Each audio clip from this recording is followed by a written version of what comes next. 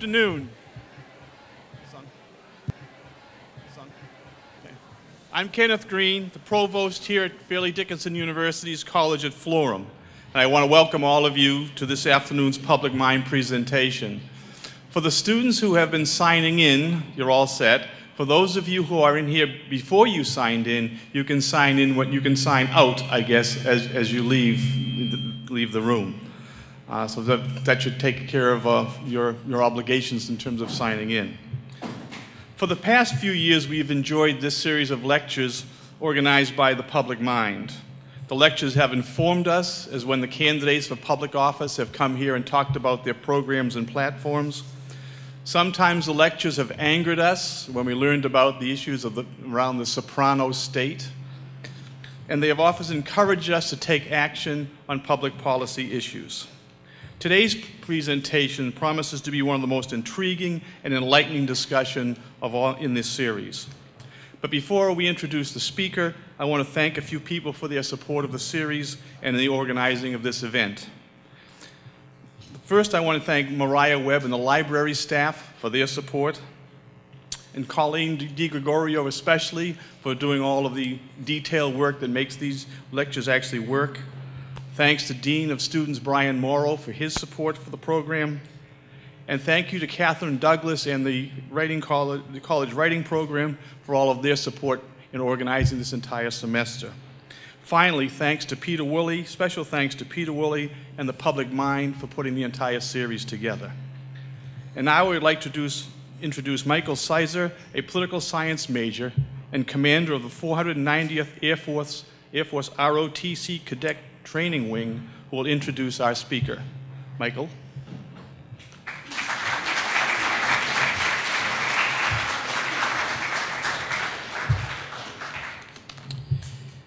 Good afternoon, ladies and gentlemen. I am Michael Sizer, a student here at Fairleigh Dickinson University, and the Cadet Training Wing Commander of the 490th Air Force ROTC Detachment. It is my pleasure today to introduce you to our guest speaker. Matthew Alexander has served more than 18 years between the active duty Air Force and the Air Force Reserves. He spent much of his time flying helicopters for special operations, as a criminal investigator, and also serving in the intelligence field. Having been deployed to Bosnia, Kosovo, and Iraq, he's an experienced veteran. He is well known for his book, How to Break a Terrorist, which breaks away from the fear and control aspect which interrogators had followed for many times before. Along with his achievements in Iraq, earning him the Bronze Star, he was involved in over 1,300 interrogations, including those that helped locate terrorist leader Abu Musab al-Zarqawi. Ladies and gentlemen, I am proud to introduce a fellow airman, Please welcome Matthew Alexander.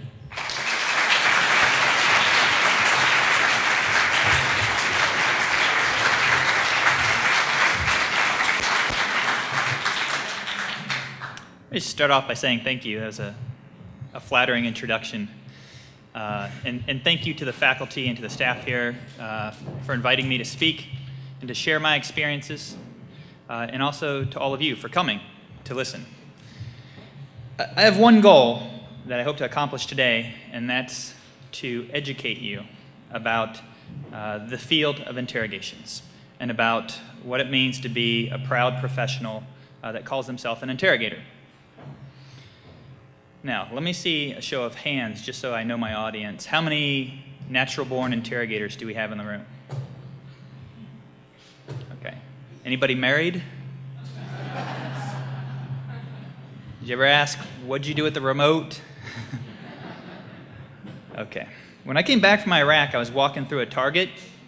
And as I went by the toy aisle, there was this young boy there, about yay tall, maybe five years old. He was tugging on his mother's sleeve, and he said, uh, Mom, can I have this Batman? And his mother said, No, you can't. Put that back. And he walked immediately over to his father, tugged on his father's arm, and said, Dad, Mom said I can't have this Batman, but I know you love me more. And that was when I realized that we're all natural born interrogators. Um, some of us more devious than others. Uh, but we all interrogate. Because interrogate is really just about getting information or trying to persuade somebody uh, to change their decisions. I want to paint um, a picture of Iraq for you. Uh, actually, before I do that, let me start off also by saying that everything you need to do a good interrogation, you have right here in the room. Um, all of you have a chair, which hopefully is comfortable because some interrogations run for eight or more hours. Uh, you have a brain, which you need to think, to understand, to come up with theories, to uh, innovate. And you have a heart. And that last part might be the most important because it's what an interrogator feels, uh, and using those feelings, uh, that's one of his most important weapons. I want to paint the picture of you of Iraq uh, when I arrived. Uh, I arrived in Iraq in March of 2006. It was exactly one month to the day after this event, which was the bombing of the Golden Dome Mosque in Samarra, better known as the Al Askariya Shrine, uh, one of the holiest sites in uh, Shia Islam. Uh, and this bombing was planned and conducted by a man named Abu Musab al Zarqawi, who was the leader of Al Qaeda in Iraq. And al Zarqawi's strategy was quite simple. His idea was that if Al Qaeda, which was made up of Sunnis, would target Shia civilians in Iraq, uh, they could start a civil war between Shia and Sunnis.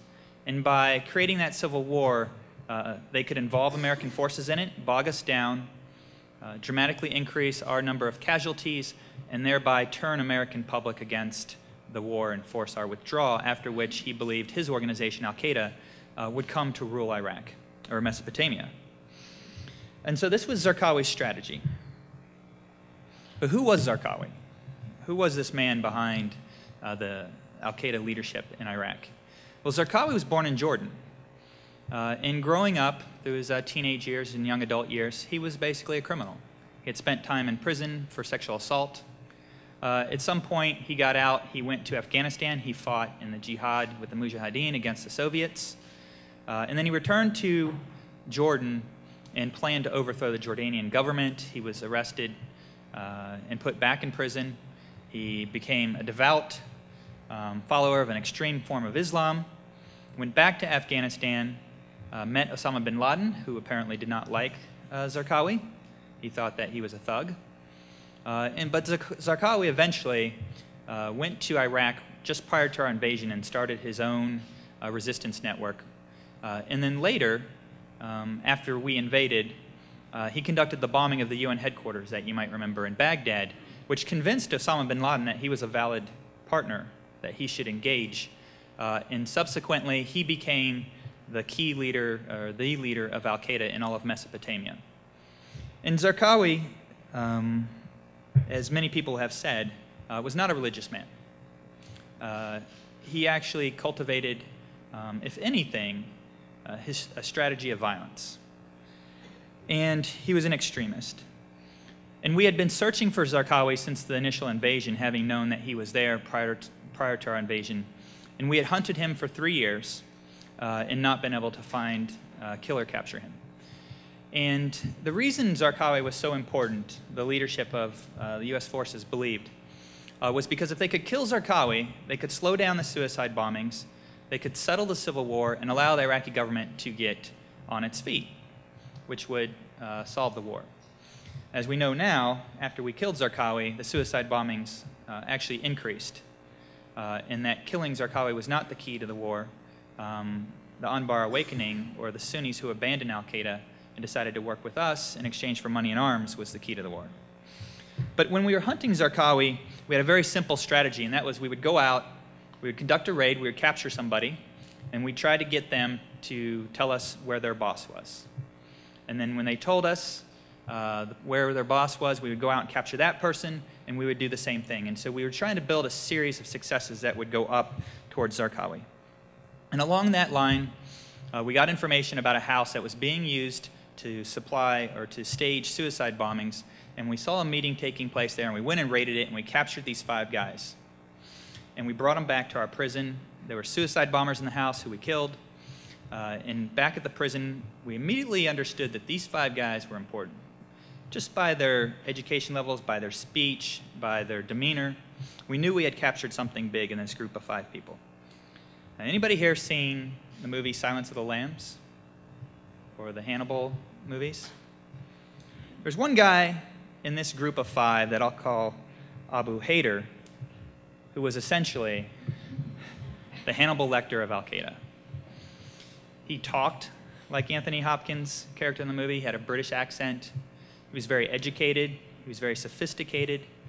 Uh, he was very manipulative. And when he came back to the prison, he was assigned to some interrogators who I call the old school. And this is the situation that I walked into when I got to Iraq. What I found is there was old school interrogators and new school interrogators. And the old school interrogators were the ones that had been in Iraq early on or had been in Afghanistan, and they were the ones that believed that uh, enhanced interrogation techniques were okay. In other words, that it's all right to violate our training, to violate our ethics, if it achieves an end, and that end is to get information that will keep us safe. And so some of the interrogators, uh, now that it was 2006 and we weren't allowed to use enhanced interrogation techniques, were doing everything they could to bend or break the rules. So let me give you an example. So enhanced interrogation techniques outlawed the use of sleep deprivation. And the, when the law went into practice in the Detainee Treatment Act, it said that we could only interrogate for 20 hours in any one day period. So some interrogators said, well, that's great. Let's give them four hours of sleep, do a 20 hour interrogation. Then we'll reset the day. And we'll start the next day with a 20 hour interrogation. So thereby we can do a 40 hour interrogation. And this was the types of things that were happening when I arrived in Iraq by some, some group of interrogators. And I thought that was wrong uh, for some very simple reasons that I'm going to go into.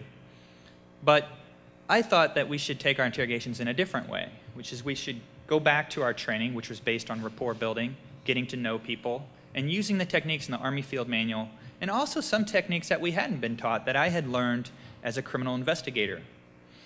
And so I taught my interrogators, uh, and we became what was called the new school of interrogators, the people who didn't believe in using enhanced interrogation techniques, didn't believe in using methods based on fear and control.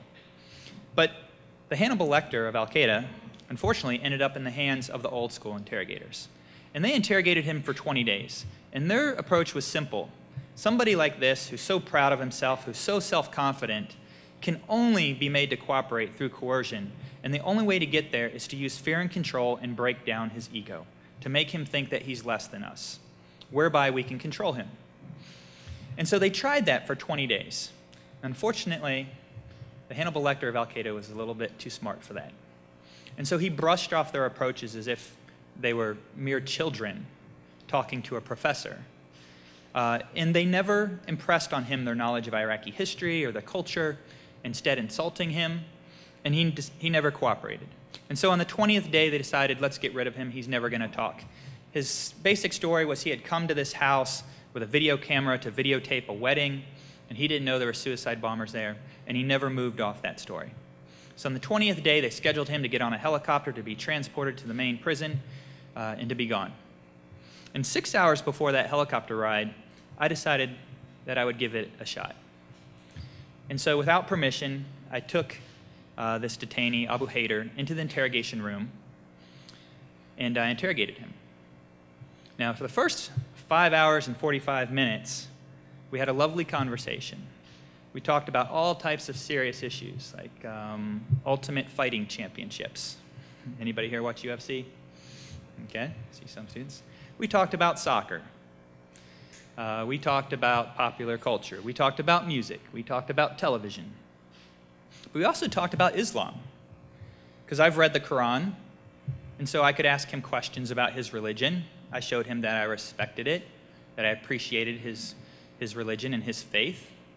Uh, and I impressed him with the fact that I had actually read the Quran, and he was amazed by that. And I'm the only interrogator I've ever met who's read the Quran which is quite amazing considering that most of our detainees are experts on it. And then after that, we talked a lot about Iraqi history. Anybody here studied Iraqi history? I should know there's anybody here. So there's a famous story in Iraqi history. Anybody know who Richard the Lionheart is? Okay, Richard Lionheart the, led the Third Crusade. And his opponent in the Third Crusade was a man named Salah al-Din, who was a Kurd from Iraq. And the famous story in Iraq about Salah ad-Din isn't about the defeat of Richard the Lionheart. The famous story is about a battle in which he captures one of Richard the Lionheart's lieutenants, a guy named Guy de Lisson, and he spares his life when he should have killed him.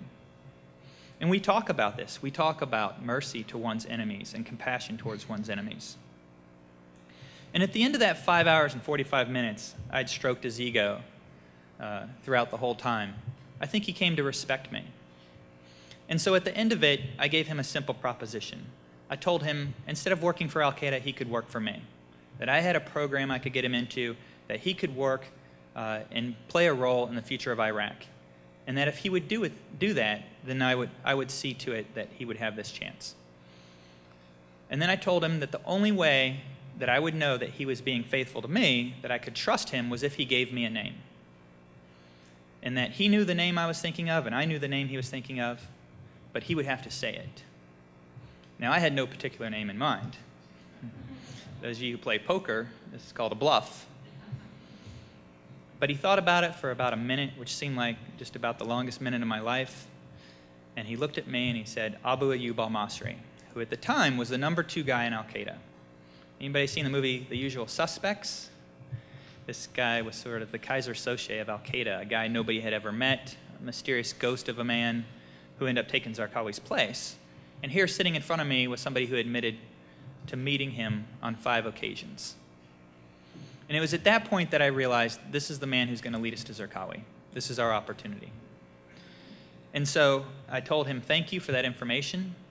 And I put in, plan, uh, put in place a plan to convince him to keep cooperating with us uh, that ultimately led him to telling us that his best friend was a man named Abu Abdul Rahman, who was Zarqawi's spiritual advisor.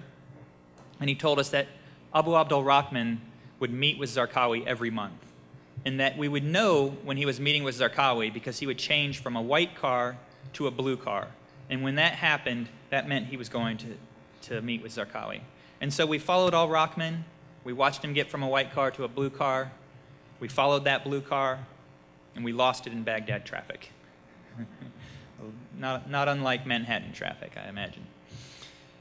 And so we had to go back out and find Al Rahman again. And on the 7th of June, we found him again. And he went from a white car to a blue car. And he pulled into a rural safe house. And he went inside. And two F 16s screamed overhead 15 minutes later and dropped two bombs on that house. And we killed Zarqawi, one of the worst mass murders of our generation. And a man who at the time was a higher priority than Osama bin Laden on the terror list. What was the weapon that I used to achieve this success that my team and I used? Anybody venture to give a guess? I think it was compassion. I think it was respect. I think it was rapport building. I think it was a little bit of risk taking. But it had nothing to do with torture and it had nothing to do with abuse. And in, some people might say, well, this was a revolution in interrogations. That what we did was something new. And what I said is, it's new, but it's only new for a, for since 9/11. Uh, we had interrogators who used these types of methods a long time ago in another war in which we were facing hardcore um, enemies, if you will, dedicated enemies who were willing to be suicide bombers. The only difference is now we've taken those same methods and we've tailored them for a different culture. And that's what makes them new. Because it turns out that in World War II, interrogators used rapport building. They used deception sometimes, but they got to know their enemies, they understood their culture, and then they used uh, that knowledge to convince them to cooperate. Probably the most famous interrogator in World War II was a man up there uh, on the far side of the screen at the top on our tent talking to a Japanese prisoner of war, was Major Sherwood Moran, who joined the Marines at age 50 after spending a few decades in Japan as a missionary. Uh, and he signed up for the Marines. He went, he was in the initial invasion of Guadalcanal, uh, and he interrogated numerous Japanese prisoners of war and convinced them to cooperate. And he wrote a manual after the war, which became the, the basis for our modern day field manual on interrogations. And in that manual, he specifically said his words that an interrogator has to be a real wooer, that he needs to woo a detainee to convince him to cooperate. And then we had these men over here who worked at secretive Fort Hunt in Virginia, who interrogated people, and they did these awful things like they planted um, German Americans into the cells to act as prisoners uh, that they called stool pigeons. They bugged rooms, they played chess with people. In fact, one of their best weapons, it turns out, was cigarettes. They exchanged cigarettes for information. And then we had some guys like uh, down here on the far side with the monocle there, Colonel Tin, uh, Robin Tin Stephens. And Robin Tin Stephens was a Brit who ran a place called Camp 020 in England, uh, where they interrogated captured Nazi spies, turned them into double agents. A lot of people don't know this, but the success of D Day can partially be attributed to Colonel Stephens, who convinced Hitler by running double agents that the invasion was going to happen at a different location than it did. And then down here is another famous interrogator, Hanns Scharff, who was a German. He interrogated for the German Luftwaffe, and he interrogated Allied pilots, and he never laid a finger on them. He never used abuse, he never used fear and control, he never used coercion, and yet his success rate, as told by our own pilots, was probably around 80 or 90 percent interrogations. And how did he do that? by using respect and rapport, cunning, deception sometimes. Sometimes he took them to the officers' club and gave them a few drinks, but he never used torture and abuse. I want to tell you a story about the, the only guy I know in all the interrogations I did that ever gave us every piece of information. His name was Mahmoud.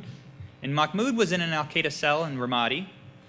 And he was in this cell of, of guys conducting attacks. And one day, his cell members suspected that he was a mole, that he was a spy for Americans. And so they grabbed him and they put him in this warehouse and they tortured him. They did all kinds of horrible things to him. They burned him. They even did some things that uh, I think would have been considered the same techniques that we used as enhanced interrogation techniques. Uh, but eventually, we ended up raiding that same warehouse looking for somebody else and rescued him. And he came back to our prison and he sat down in front of me after a doctor had inspected his wounds and treated him, and we'd given him some food.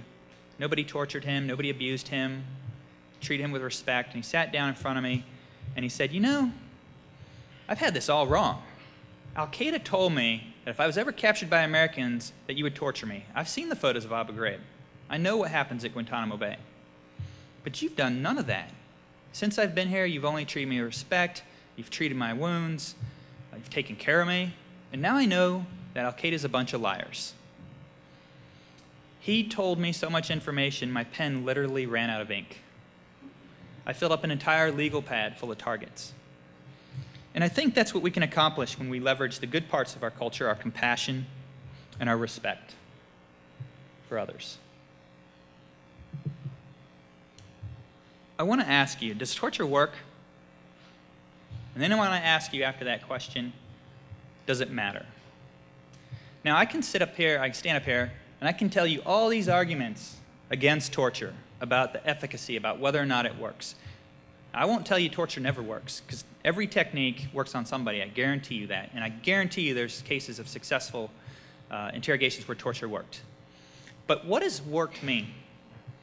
As I know, because I interrogated in Iraq and we, I oversaw the interrogation of foreign fighters, the number one reason foreign fighters gave for coming to Iraq to fight was because of Abu Ghraib and Guantanamo Bay, the torture and abuse of prisoners. It was Al Qaeda's number one recruiting goal. And those, those statistics were compiled by DoD and briefed to every interrogator in my task force. So if you interrogate somebody and use torture and you get information, you stop a terrorist attack, but you recruit 10 more terrorists, is that the definition of, of torture working? And what happens then in future wars when our enemies are going to say, well, we can use torture because it works? We can use it against Americans because it works. So it makes all American soldiers in future conflicts subject to the same techniques. And what does it mean when our allies tell us, as they have, we're not going to do joint operations with you because we don't trust what you're going to do with the prisoners when you capture them? And what does it mean when we go out and fight troops, and as we saw at the end of World War II when we were in Germany, in massive uh, parts of the German army defected to the American sides because they knew that they would be treated well. The same thing that we saw in the first Iraq War and the Gulf War when Iraqi units disbanded and fled to our side and surrendered because they knew they would be treated well. What does that mean for future conflicts now that we've used torture? So I ask you, what does it mean when people say torture works? Because you'll never find somebody defending torture from a long term point of view. It's always it works right here, right now, and we got information, it kept us safe. But in the long term, it doesn't make us safe. And then I could go through all the legal arguments. I could tell you that it's against the Convention Against Torture, which we've signed and ratified and is according to our Constitution, U.S. law. I could tell you that it's against the Uniform Code of Military Justice, that it's against federal torture statute, and I can tell you that that has always been the case until 9 11. And that we've carved out an exception in the law. And that what are we if we're not a country that believes in the rule of law, if we only pay lip service to it? But at the end of the day, I don't care. I don't care if it was legal. I don't care if it worked 100% of the time. Let me ask you would we use chemical weapons if it saved American lives? We don't. Nobody's going to argue whether or not they're effective. I think they're effective close to 100% of the time. They're illegal, but would we use them? And I think the answer to that is no, because it's immoral. If you went to an infantry troop, let's say a Marine, and you said to that Marine, we're not going to allow you to go do your job the way you've been trained and to go take that hill or that beach because we don't trust you to do it. We don't think you're good enough. The enemy's too, uh, too skilled. And so instead, we're going to use chemical weapons, even though it violates everything that we signed up for. What do you think the Marine would tell you? I think it in, involves some four letter words myself. But they'd be insulted. And that's the way interrogators feel. We don't need a special category of techniques that are outside the law to do our jobs. We're just as capable at doing our jobs without it. And we don't need to use techniques that are against our morals and our values and the principles that we've signed up for. Now, I want to talk just briefly about why people torture. And I, I think there's a dirty word up here on my slide called prejudice. And I say that because in the public, when we have this debate, we talk about fear. Now, how many people here are fearful of this painting on the wall this young girl? You're not. Because it's familiar. We're fearful of things that are different. We're fearful of things that we don't understand. And what we've done since 9 11 is we've dehumanized our enemy to make them appear fearful. How many times have you heard the term hardcore terrorist? How many times have you heard the worst of the worst? That these people are so hardcore that they only know violence. They're willing to become suicide bombers. I'm going to stand here and tell you today that the easiest people to interrogate are the hardcore terrorists. Why? Because the hardcore terrorists are the ones that were recruited based on an emotional appeal. They walked into a mosque or they met a recruiter for Al Qaeda, and that person reminded them of the pictures of Abu Ghraib or they talked about um, some other uh, American policy that inflamed their emotions, and then that person decided that this was worth sacrificing their life for. That person comes and gets captured. I can use an emotional approach against him, and the emotional approach is their most effective. It's much harder to interrogate somebody who has a logical reason. Imagine the Sunnis in Iraq that we interrogated who said, I joined Al Qaeda because I needed protection for my family. The Shia militias came to my neighborhood and forced me out of my home. Well, that's a pretty logical argument for joining Al Qaeda. That's much harder to counter. So the hardcore members I found were the easiest to interrogate. I'm going to tell you a story about another guy in that group of five. Remember, I talked about the group of five people that we caught in the house with the suicide bombers that were high ranking leaders of Al Qaeda. There was one guy named Abu Baida. And Abu Baida was an older man, maybe 65, very religious imam. And he came into the prison, and some interrogators and analysts got together and they were trying to come up with a strategy for interrogating this guy because they knew he was really smart and very religious and be very difficult. And they were sitting down, they were talking about these strategies, and I said, Well, what about using love of family? Does he have any kids? Does he have a wife? And man, people literally laughed at me. They're like, ah, you new guy. What do you know about inter- interrogations? These guys, when they join Al Qaeda, they swear bayat to Osama bin Laden, loyalty to death. They're willing to die for this cause. They have sworn off their families. They don't care. And a little voice in the back of my head said, wow, that doesn't really jive with what I learned when I was in Saudi Arabia previously. And another time I spent in the Middle East kind of tells me that, you know, families are very tight knit groups over here. And it's I can't imagine that somebody would ever completely swear off their family. So I was laughed at. So they went about these harsh techniques. They went about the fear up techniques, the control techniques. And at the end of the day, one of our analysts is flipping through some papers, and he comes across an old picture of Abu Baida as a young man from some old intelligence report. And he realizes that his name's not Abu Baida, it's something else, that he was using a fake name. And he puts that name into a database and he finds out that Abu Baida's son is being held in an Iraqi prison in the south. We call up the prison and they fly Abu Baida's son up to our prison and we take him into the interrogation booth and we put father and son face to face with their masks on and we pull off their masks and Abu Baida takes a look at his son and just breaks down in tears. And after that point, he gave us every piece of information he could. He told us how his operations worked. He was a leader of Al Qaeda in the north, who his lieutenants were. It was a love of family approach. These people are not robots, they are humans. And just because they join Al Qaeda doesn't mean they stop being humans. And the best thing that we can leverage against them, against their violence, is our compassion. I want to talk a little bit about leadership because I believe one of the contributing factors to the torture story is a failure of leadership. A failure of senior leaders in the US military and in the uh, civilian administration to stand up and separate themselves from their emotions. We all felt that anger after 9 11. We all felt that rage. Imagine my interrogators. Sometimes we'd go out and raid a house, we'd capture a guy, and in that house we'd get a CD and we'd bring it back and we'd play that CD, and there would be the guy that's sitting in our prison cutting somebody's head off with a machete. Can you imagine walking into that booth to interrogate that guy the way that you feel? Just the, the burning desire for revenge. Yet it was General George C. Marshall in World War II who said, when, when there's war, there's a beast that arises in every fighting man, and it's the obligation of the officers to keep that beast on its chains in himself and in his men. Isn't that what we pay our leaders to do? And that we expect of them is to separate their emotions from their professional duty. And I think there was a failure to do that after 9 11, a failure to separate what we all felt and to carry out our professional duties in accordance with our principles. It was too easy to say that our security was more important than our principles. How many times have you heard politicians say that their first, their first duty or obligation is to protect the American people? I, I challenge you to go out and read the oaths of office of any elected official and find the word security of the American people in there. What it says is we all have an oath to protect the Constitution of the United States of America. I would rather be the size of Kansas and be America than be at our current borders and be Al Qaeda.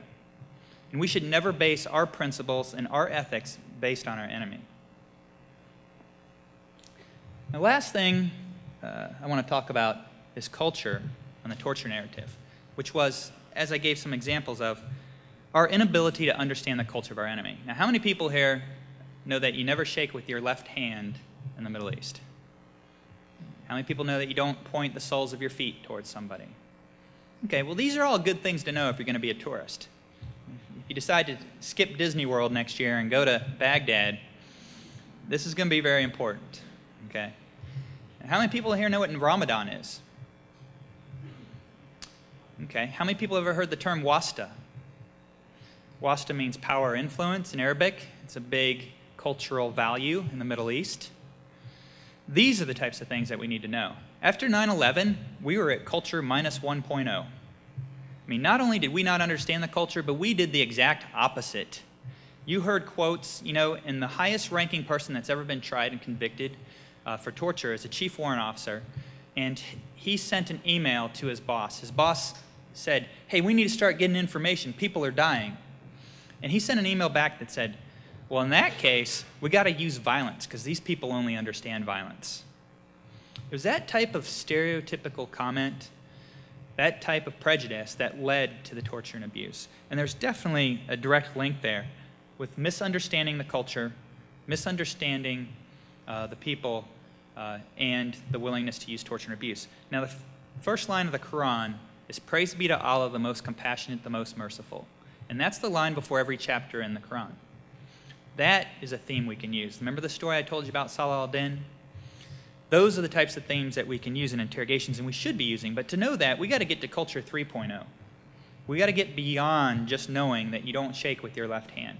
We got to know the culture so well that we can use it to reinforce our interrogation strategies. The other thing we can do is use multidisciplinary approaches. Now, let me uh, ask you how many people here have ever bought a car? Okay. Did anybody ever get to that point in the negotiations over the price with the salesman where the salesman said, you know, I can't give you that extra $300 off or the trim you want or the color or the airbags, but let me call my boss. Did that ever happen? My boss can authorize it. So I'm in Iraq and we capture this guy. He's young, he's 21 years old. His name's Ismail, and he builds Al Qaeda's websites. They go out, they conduct a suicide bombing, they film it, they give him the footage. He modifies it, put it on a web page, put a bunch of pretty pictures uh, or script up there. So he's their web developer. I guess it's a good job, pays well. And uh, we capture this guy, and we're trying to find out who he works for so we can unravel this chain of Al Qaeda. And he won't tell us. And I assigned this young interrogator to him named Marcia. She's probably 20 years old. And together, her and Ismail, every day they're smoking a, two, three packs of cigarettes together. And they got this great rapport going, but at the end of the day, she can't convince him to cooperate. And so she tells him one day, she says, Hey, tomorrow my boss is coming here to the prison, and he rarely ever comes here. And he's going to talk to you. And I told him that you're a good guy. So don't mess up this opportunity because you'll make me lose face. Losing face, big cultural aspect in the Middle East. She says, I could get fired. You can't really get fired, right, from the military? But this is what she tells him. And so, then she uh, goes out of the room and she gets me. And I wore a jacket that day. And I come into the interrogation room. I have a clipboard with a piece of trash paper on it. And I sit down in front of him and I ask him a bunch of questions. What's your name? Where are you from? And I get all this data and I put the clipboard down. I said, Look, I don't do this very often, but I like you. I think you're an honest kid. I think you're someone we can work with. And I'm going to make you an offer. You tell me who you worked with, who you worked for, and I'll see what I can do to help you out. And he looks over at Marcia. She has this look on her face of pure compassion pure comfort. No male interrogator could have ever pulled this off, I can tell you that. And he looks back at me and he says, I worked for Abu Raja. And it turns out Abu Raja was sitting in the booth next to us, getting interrogated. He was one of the members of the group of five who had not given us any information, and we couldn't figure out who he was. And that's how we unraveled Al Qaeda's entire communication strategy in Iraq. It was by using the boss introduction, the same technique that used car salesmen use to get you to buy a car. Now, we have a joke in the interrogator community. What's the difference between an interrogator and a used car salesman? Interrogators have to abide by Geneva Conventions. Right? So remember that when you buy a car. There's all these types of all these types of techniques that we can use uh, that we get from other fields. Anybody ever heard the story about Michael Jordan that before every game he would picture himself mentally making the winning shot? sports psychology, right? Positive mental imagery, reinforcing an act before you do it. So we had this technique in interrogations we called the Van Gogh, based on the Dutch painter. And the idea is you would paint a picture in the detainee's mind that if they cooperated, all these benefits would come from it. And you could paint that picture of the future of Iraq. So I had this other member of the group of five. His name was Abu Gamal. Abu Gamal was 60 years old, white beard. He kind of looked like a mole. He's kind of short, squat. And he came in the interrogation booth, and we started interrogating him, my partner and I, and for three days he just said, I don't know anything about these suicide bombers or these other guys. I'm a taxi driver. They hailed me off the street. You know, I knew one guy, I think he's my cousin. He told me to drive him to this farmhouse. I drew him there. I had no idea. And he stuck to this story for three days.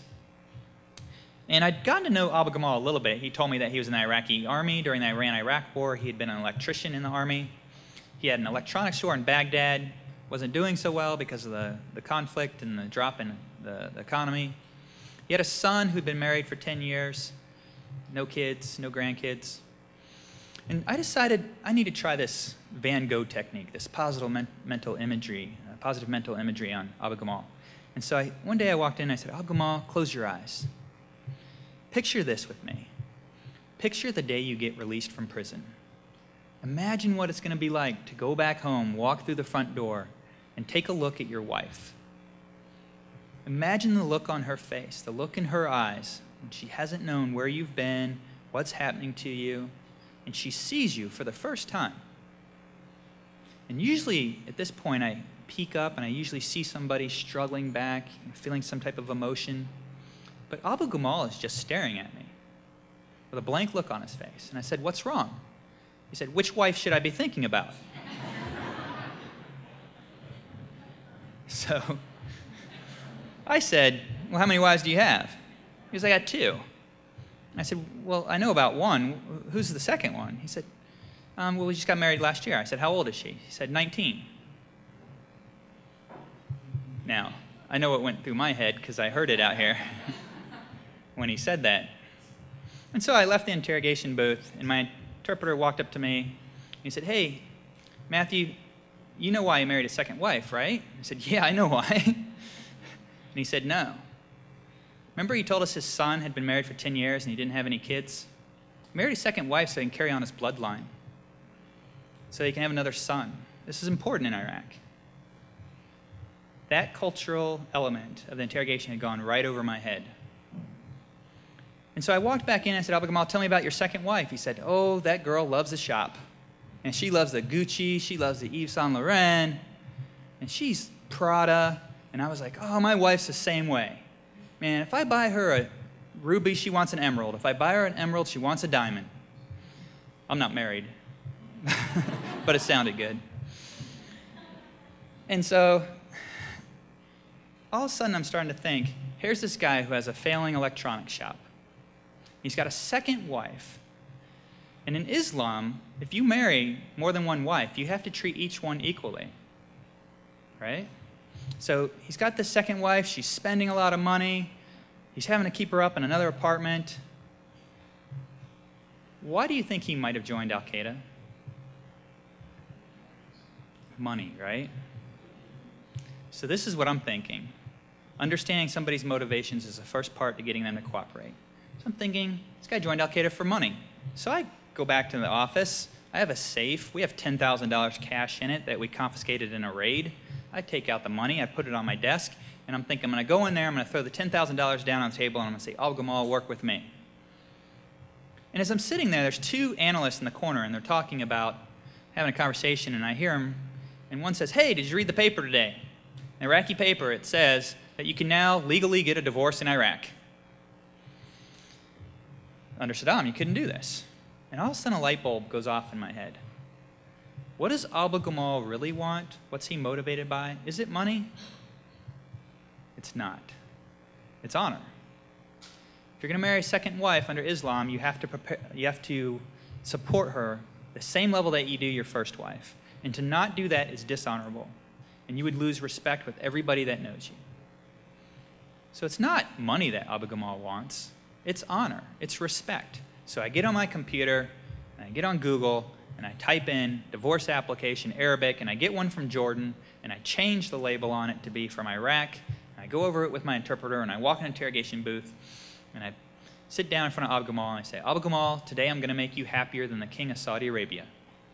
And he looks at me kind of puzzled, and I pull out the divorce application, and I hand it to him, and he looks it up and down, reads it over twice, he looks at me, and he says, Can I fill this out now? Like, sure, I hand him my pen. And when he gets done, he says, Thank you. Thank you so much. And he says, I wire vests, suicide vests for Al Qaeda. $50 each. And he'd wired hundreds of vests all over Iraq. Remember, I talked about he was an electrician in the army? He's an electronics store. Kind of makes sense, doesn't it? He'd been wiring vests for Al Qaeda, and he told us the locations of all the places where he'd wired vests, and we went out and we took out a big portion of Al Qaeda's suicide bombing network for a month. And it was compassion. It was compassion that convinced Abu Baida, or uh, Abu Gamal, to cooperate. It wasn't torture. People come up to me, or let me, let me say this. How many people do we have in here? I see a lot of students under the age of 25. Okay. How many of you have access to what my father calls the interwebs, better known as the internet? I think the next generation of Americans are the perfect raw material from which to uh, mold interrogators, and for three reasons. The first is because of the internet and globalization, Remember, I asked how many people knew about Ramadan? I think if we'd asked that same question 50 years ago, we wouldn't have had the same response. But globalization and the internet has made our global community much closer. We've come to understand other cultures that are different than ours. And I think younger generations are more in tune in that now than they ever have been. So I think the internet has helped. And the second thing is how many people in here have Facebook? Don't lie. Okay. I'm an interrogator, so I'll know if you're lying. Al Qaeda is organized like Facebook. There's no Al Qaeda recruiting office. You don't go down and sign a contract for four years to get the Al Qaeda GI Bill. It's organized like Facebook and it's based on social networking. It's like, hey, I have a cousin, and my cousin can get arms.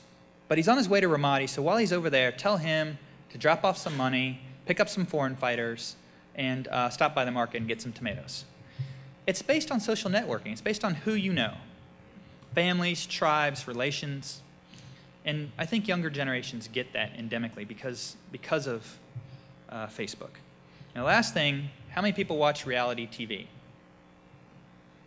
I don't know why, but so every time fewer people admit watching reality TV than Facebook. Remember that episode of um, The New World where somebody cried? Right, it's every episode. the point I'm making is that Younger generations understand emotions. Boy, do they understand emotions. And my young interrogators, boy, did they understand how to manipulate emotions. In the interrogation booth, interrogations, uh, emotions rage like wildfires. It's a naturally emotional activity to interrogate somebody with, where lives hang in the balance.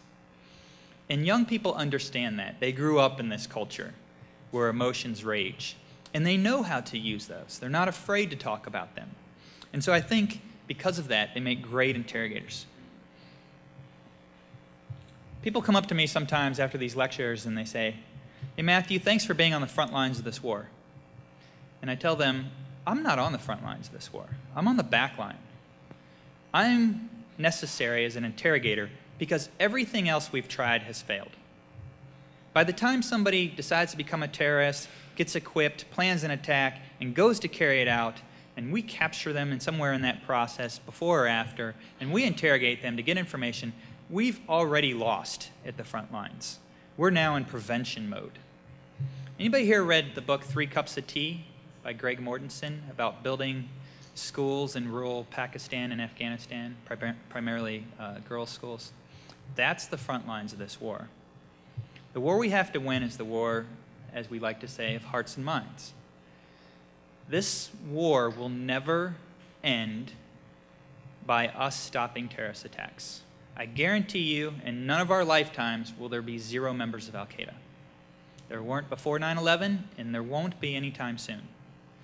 The difference, winning in this war, will be when we turn the corner from Al Qaeda being able to increase the number of people it can recruit to where it decreases. And things like torture and abuse have only served to help Al Qaeda recruit new fighters. And everything we do, whether it's detention policy, whether we're talking about drone strikes, whether we're talking about interrogations, has to be focused on one aim, and that is denying Al Qaeda new recruits. Now, will that number ever be zero? No. But you know, there's an old story, a history lesson from the Philippines, where they had a communist insurgency um, 50 or so years ago. And that insurgency was solved through social and economic solutions through incentive programs to draw people back out of insurgency into government programs where they'd have jobs and get paid. And at the end of the day, has anybody here ever read about communist Philippine terrorist attacks lately? Yet there's still 3,000 members of the Philippine Communist Movement. Why do you not read about it? Why do we not talk about it? Because it's handled by local law enforcement. And because there is a dwindling, dying breed. And that's where we need to get to in this war. And I'm confident, I'm very confident that we can get there, that we have the tools available to us to achieve this objective. But it's going to take doing all those things I talked about, about applying our knowledge of culture. I told my interrogators that the same things that make you a great American are the same things that will make you a great interrogator. You can leverage your compassion, you can leverage your cultural understanding, you can leverage your ingenuity, and you can leverage your brain and your heart. And that's what will help us win the war. Thank you.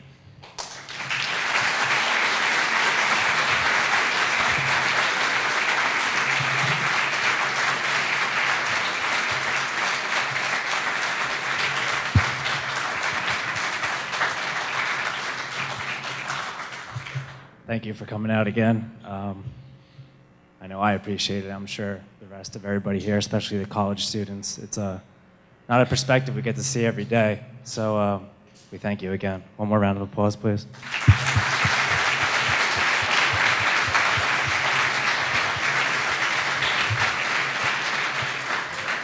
I'll be facilitating uh, questions and answers along with Mike in the back. I'll handle the front half, and Mike will handle the back half. Um, so any questions we have, just raise your hand, and I'll come around, and we'll take it from there. Uh, however, since I have the mic, I have the pleasure of asking the first question, so I'll go from there. Um, what I'm curious is where you and your interrogating team um, had started your, you know, what you call the new age of interrogating, where you use compassion and not so much torture as a means of interrogating. How many, what's the future of interrogating look like? Are a lot more interrogators taking that on as something that they look at? I mean, is there more of an American ignorance where they still think, oh, we need the torture to get answers? And I'm sure there's people that are out there who are still thinking that, you know, even though we have the results that we've seen that you and your team have accomplished, um, where's the future of interrogating leading? Uh, I'm, I'm optimistic because I, you know, we had the executive order when Obama took office on a second day, uh, banning torture and restricting us to the Army Field Manual. And on, on that note, I'm, I'm, optimistic because I think we've turned the corner on torture uh, in this administration. Uh, I think now, though, however, it's become a policy discussion about whether or not it's policy to torture, not whether or not it's against the law or immoral. And I'm concerned that in a future administration uh, or after another future if we have another terrorist attack, that some people will see this uh, as being an option for going back to. Uh, I think none of us should be surprised that terrorism is around to stay. You know, recently, President Obama came under some criticism for saying that we had the ability to withstand terrorist attack, and some people accused him of being soft uh, in saying that we would accept one. Nobody accepts a terrorist attack. But terrorism didn't start on 9 11.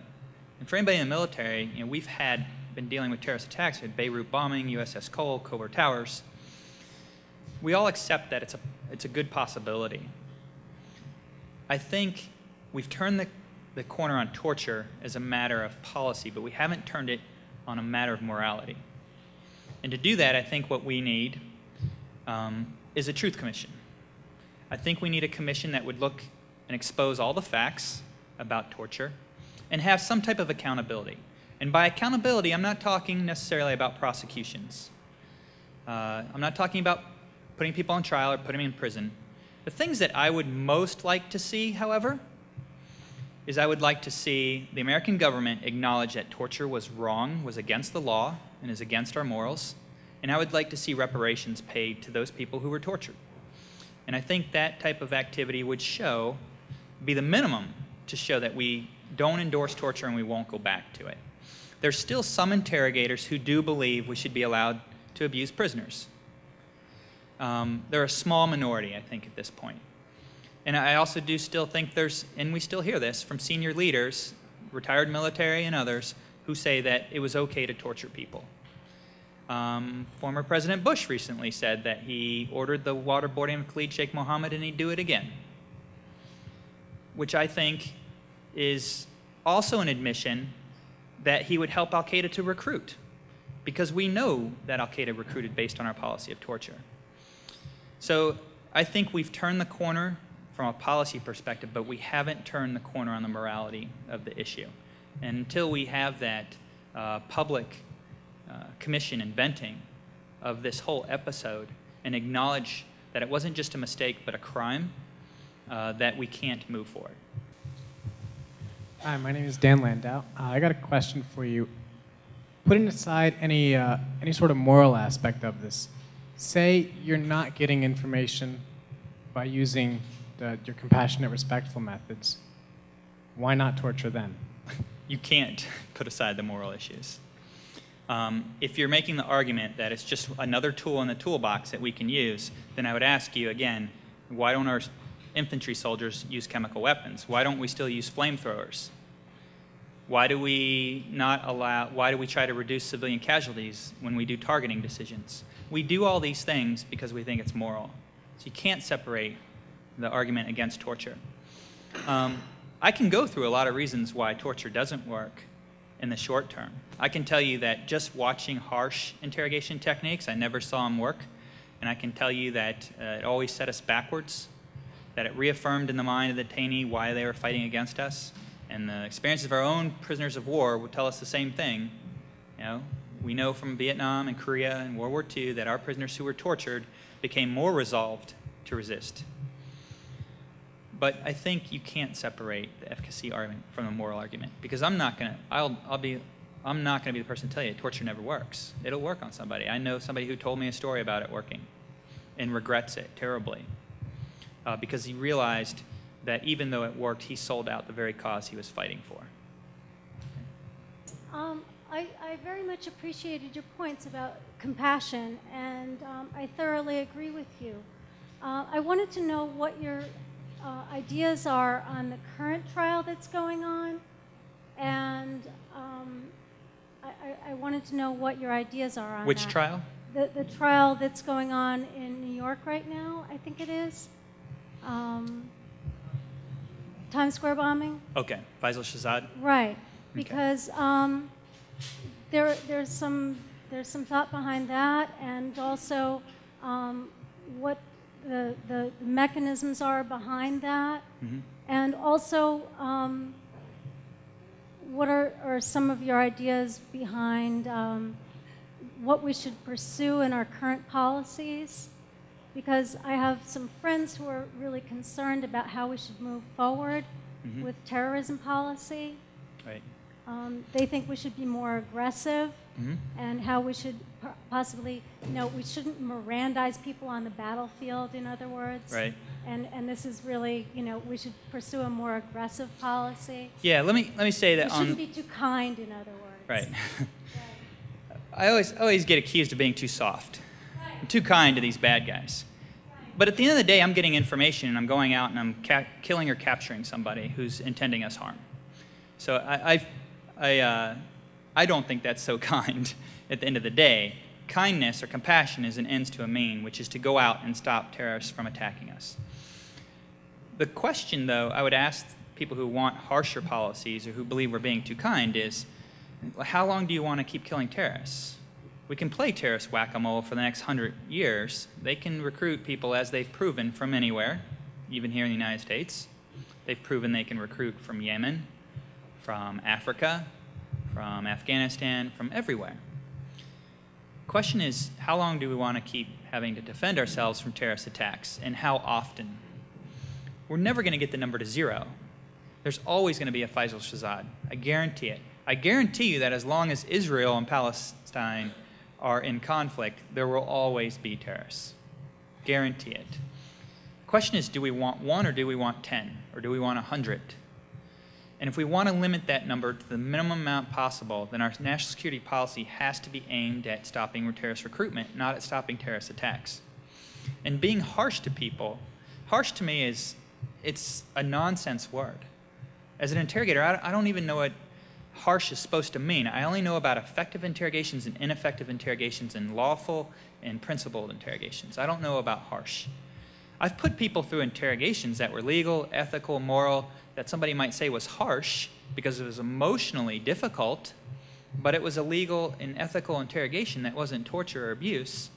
If you get arrested down here uh, and you get accused of murder that you didn't do, and the police take you down to the to the um, prison or the jail and they interrogate you, I guarantee you it's going to be emotionally what some people might call harsh. That doesn't mean it needs to be unlawful, illegal, unethical, or immoral.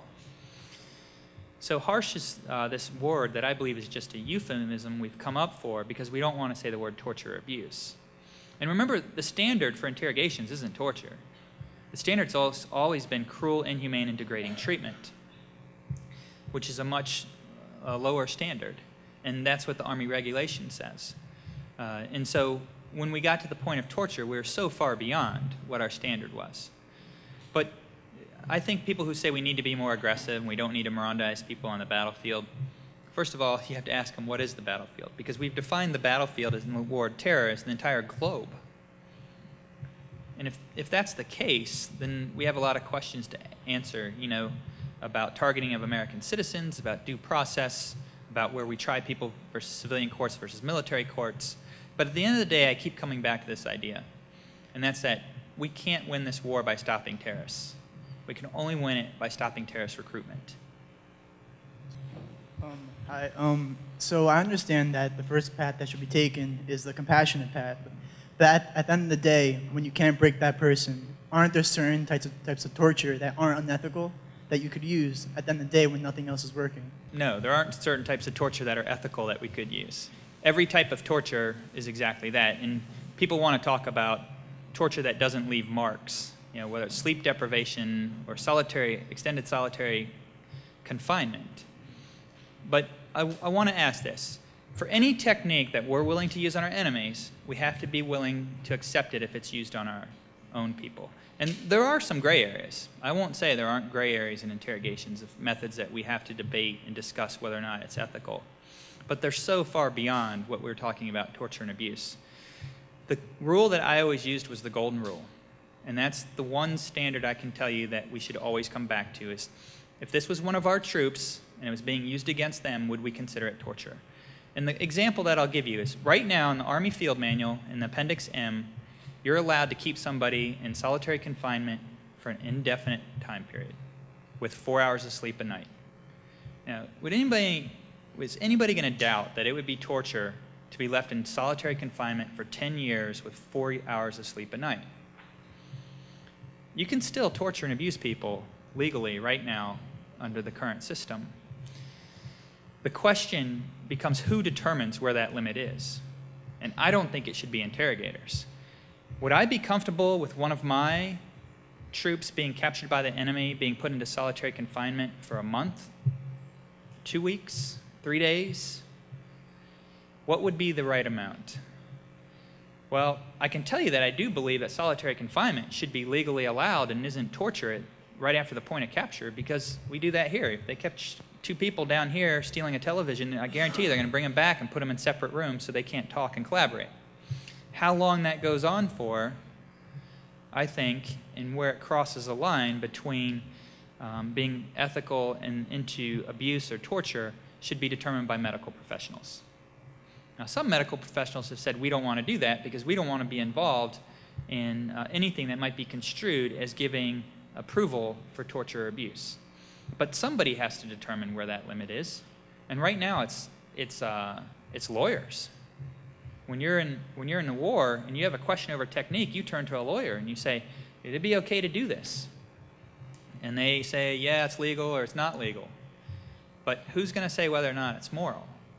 And that responsibility is always going to be on the senior interrogator, the person in charge of the interrogators. And they're always going to have to make some tough calls. And I think the best rule they can always rely on is to go back to the golden rule. Hi, my uh, question is in terms of acknowledging and prosecuting those Americans that have uh, used, uh, practiced torture, couldn't, you know, just by acknowledging that we have tortured, couldn't that become potentially a recruitment tool for groups like Al Qaeda to, you know, gather more members? Isn't that uh, a potential threat that our government faces by, you know, prosecuting uh, those that have practiced torture? It no doubt will be a consequence. Um, just like, you know, the government decided not to release the 100 plus additional photos of abuse um, that they have, which I'm told by sources are worse than the Ghraib photos in some cases.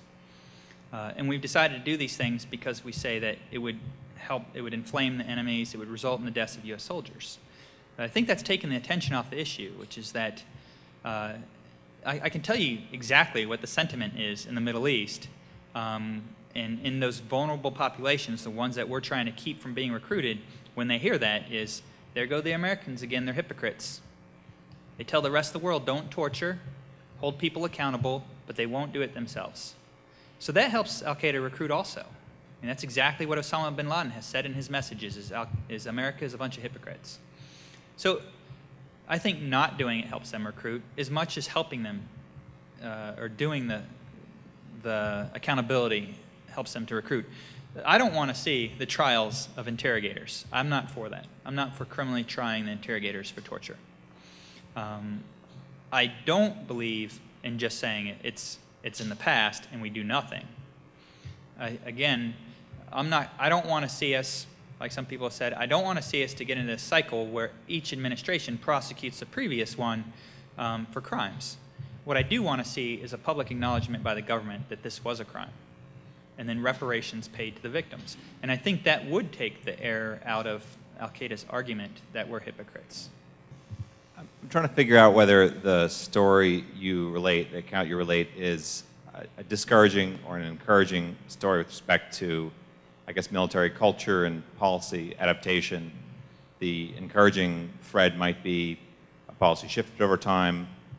Not that didn't take that long for, for this transition to occur, and uh, military superiors listened to a new generation of interrogators. I guess the discouraging account or, or uh, thread in the narrative is that it did take some time. Uh, it sounds like mistakes were made. Intelligence probably squandered, or at least intelligence opportunities were squandered. And the system that you described at times is sort of anti-empirical, you know, not, not, not that responsive to results always and driven by passion as much as reason in many cases. So, you know, how do you see it? Was this an encouraging or discouraging picture with respect to how policy gets made? And do you think we've kind of closed that door and the future will be a more sort of responsible and, and rational one? Um, you have stories, you know, I'm not the first interrogator to say no to torture. Uh, back in 2004, General Mattis, who's now in charge of Central Command, CENTCOM, took General Petraeus' place, um, was in charge of an entire task force in Iraq. Um, and when he, his intelligence officers were given the approval from uh, Secretary Rumsfeld to use enhanced interrogation techniques, um, together they rejected them. And General Mattis forbid his entire task force from using enhanced interrogation techniques. a friend of mine, Colonel Steve Kleinman, who's been an interrogator for 25 plus years, intelligence officer, um, was in Iraq. He was one of the SERE instructors, you know, survival instructors that was sent there to uh, teach interrogators how to use the techniques that we use to train our troops to resist torture, to teach those techniques to interrogators to torture prisoners. And he was given a direct order from a general officer to, to teach the interrogators to use these techniques, and he refused it, saying it was an unlawful order. So there are, all, there are encouraging stories of soldiers, of leaders, uh, saying no uh, to the torture and abuse of soldiers, but I don't think there were enough. And I think until we have a public acknowledgement again within the military, which would be part of a broader um, commission, uh, that these were crimes, not mistakes, not policy differences, that we can't move forward. And I think we all suffer from a leadership perspective from, from the acceptance of those decisions. Uh, and I, I, think other people have said, uh, I know the former dean of West Point has said this, um, that the military needs to come to grips with the leadership failures that happened that led to torture and abuse. And until we do that, we can't move forward. Hi. Um, how do how do you think that we lost our compassionate interrogation techniques between World War II and now? And what can we do to prevent the loss again? Well, I think the reasons that I put up here are the reasons why we changed. It was because of prejudice. It was because of the inability to separate our emotions from our professional duty and leadership barriers. It's what my friend Stu Herrington, Colonel Herrington, was a, a very effective interrogator in the Vietnamese War, um, in the Vietnam War, and he best described it as a perfect storm of events you know, between the legal rationing for it, the inability of leaders to stand up and recognize that this would have long-term negative effects on the U.S., um, to the moral decision to do this, uh, they were all contributing factors.